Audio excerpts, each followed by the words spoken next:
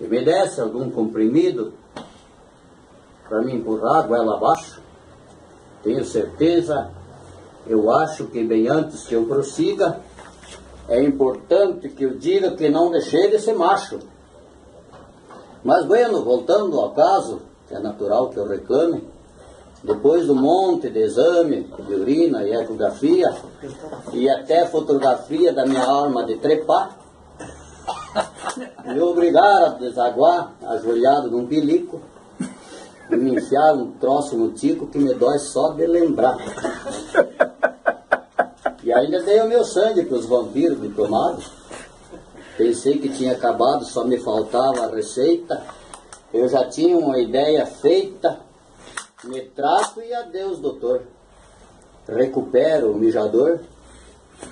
Nem sonhava em concluir que alguém iria invadir meu buraco cagador.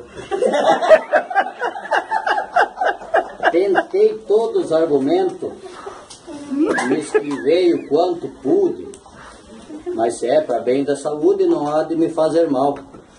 Expor assim meu anal, fazer papel de mulher, nem tudo que a gente quer está de acordo com os planos. Fui derrubando meus panos e salve-se quem puder de cotovelo na mesa com a bunda velha empinada. No cu não passava nada. Nem piscava de apertado. Mas era um dedo treinado, acostumado na bosta. E eu que nunca dei as costas para desaforo de macho, pensava de pinto baixo.